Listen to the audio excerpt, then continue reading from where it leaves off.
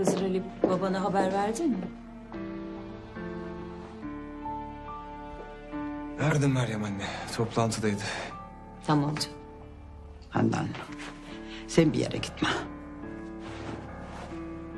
Ben gitseydim anne. Ha, senin planların var. Hayırdır anne? Handan'la dedim de.